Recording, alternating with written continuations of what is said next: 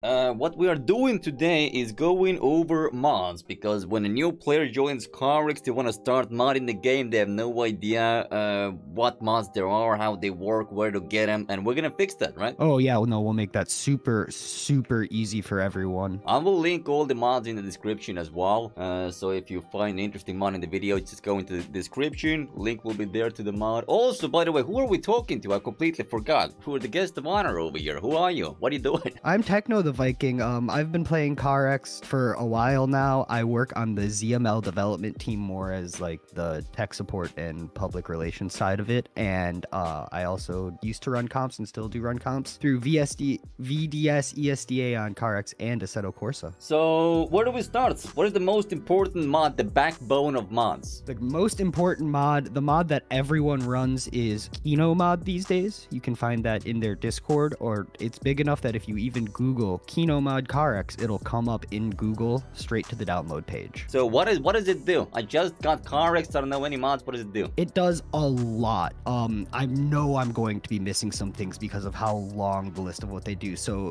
they have multiple versions. There are paid for versions and free versions. In the free version, you get things like um, fly mod on modded maps. It loads modded maps. Um, you get player lists. You can inspect people's cars. They load objects now. They load custom parts for your car, custom body kits, new rims, neons, hazards. On paid features, you also get engine swaps. The the list just goes on and on. They also have some small graphics things, and also they have a Kino launcher, which brings me to the next thing, which is ZML, which is a different mod launcher. So if you're first getting into mods, the first decision you have to make is do you want to run ZML, which is a mod loader, which has some other features, which is the team I work on. So of course I'll be a little bit biased, just full disclaimer. And then there's Kino loader, which both will work with a lot of the same mods, but they won't work together. So you can just have both, right? Like you get Kino for just a bunch of stuff besides uh, the maps, and then you get the loader for like uh, mods because I think you need the ZML to get like uh, filters, right? Yes, so ZML has a bunch of built-in features as well as submods, such as um, Gene's graphics mod, which is a lot of filters, a lot of like it lets you get a lot of hands on the Unity engine to really tweak the graphics how you want. It does custom skyboxes.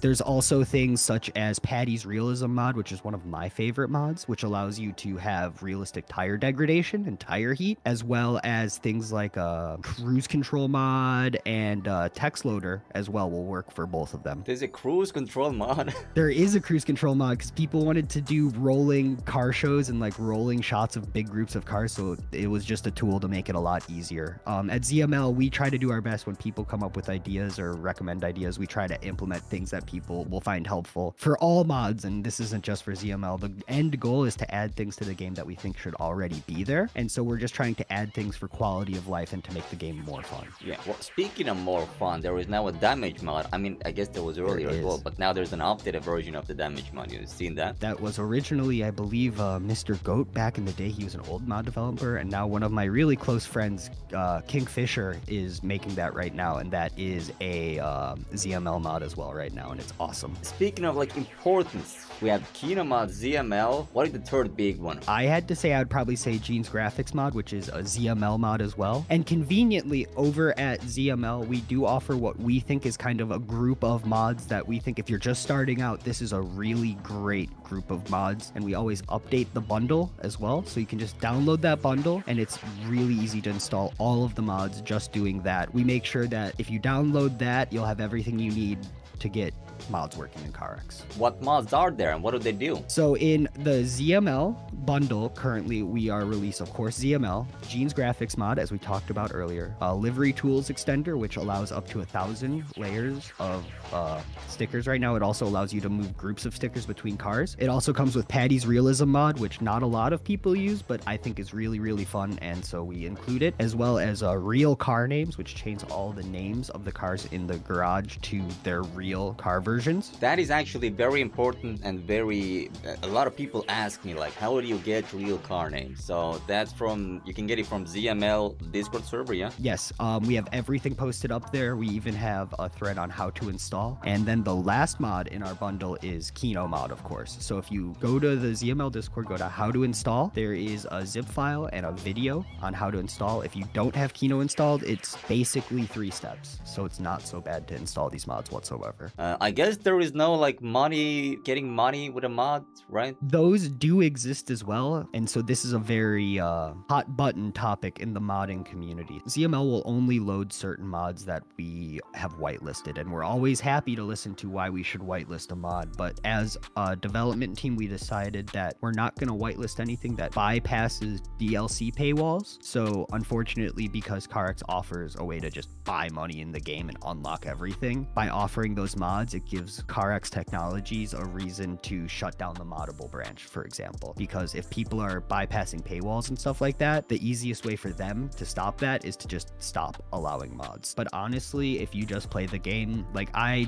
don't use anything, and right now I have like $500 million and everything in the game, and that's just from playing it. And I don't have that many hours compared to a lot of people. Uh, a lot of people ask, how do you fly around in CarX? What? Where does this come from? So there are two different ways to do this, or two good ways to do this. So Kino has it built in, so if you're in a modded room, you can fly around. If you go into the keybinds though, you can bind it to whatever you want. I personally have it bound to F1. I think I'm using F7, but I don't know if I'm flying with ZML or Kino mod. So F7, which leads us to ZML fly mod. Uh, F7 is ZML's safe fly mod, which makes it so it works everywhere. But what it does is it turns off where your car is to other players and it turns off collisions. So it's a tool to get around in the map, but you can't say grief people with it or be annoying with it. These days, there aren't that many main mods that people really are using or need to be using at all because CarX has admittedly been adding a lot of very, very good updates that have been adding a lot of things that used to have to be mods. Yeah, that's true. Like CarX is kind of yoinking in a good way, like seeing what works, what people like, uh, what they mod, and then adding those as features. Like engine swaps, that was like a Kino feature only.